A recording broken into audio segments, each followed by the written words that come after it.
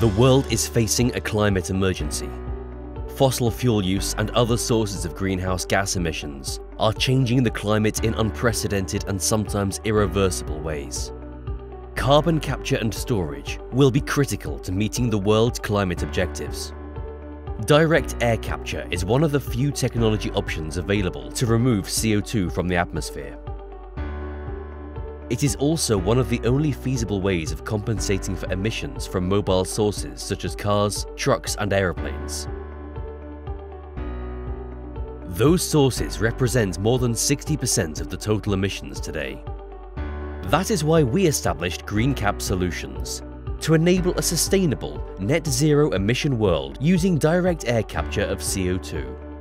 While most DAC providers use technologies involving chemicals, GreenCap Solutions' patented technology uses a non-chemical approach to capturing CO2. Our process uses a naturally occurring microporous mineral called zeolite, which has tiny pores to lock in the CO2 molecules.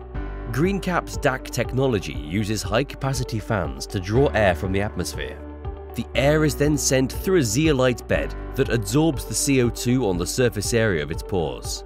The clean air is then released from the CO2 capture unit back into the atmosphere. The captured CO2 is then recovered in an energy-efficient process. The recovered CO2 can be transported to a permanent storage site or used in other industrial applications. The result a cost and energy efficient technology that can remove CO2 from the atmosphere at scale anywhere in the world. GreenCap's DAC technology is already being used to grow vegetables in greenhouses in Norway.